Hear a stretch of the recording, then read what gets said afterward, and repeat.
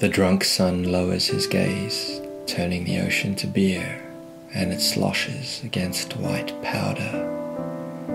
The ashes of ancient mountain pyres, now loose to the wind, creaking between toes.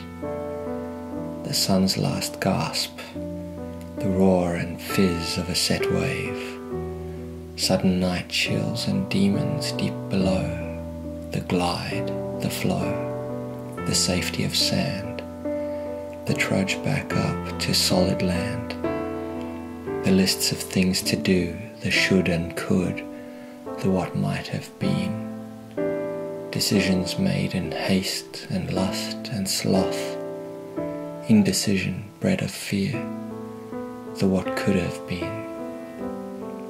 No matter, there's a thread that links the days, one thing that stayed the same not the dark nights under lights, not the hunt for soft skin, not fight or flight or avoidance of pain, not running, running, running away. It's wax forming bumps, it's watching the wind, it's the gap between sets, it's the weight, it's the wave, it's in that the light on the water, the salt on my skin, droplets dangling sunshine. It's in that.